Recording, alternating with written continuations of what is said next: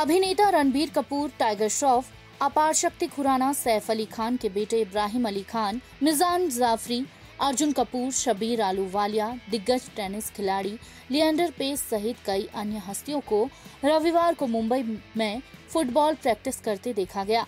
Celebs green और orange colour की jersey पहने नज़र आए।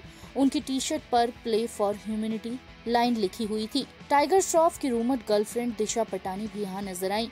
ब्लैक आउटफिट में दिशा काफ़ी खूबसूरत लग रही थी।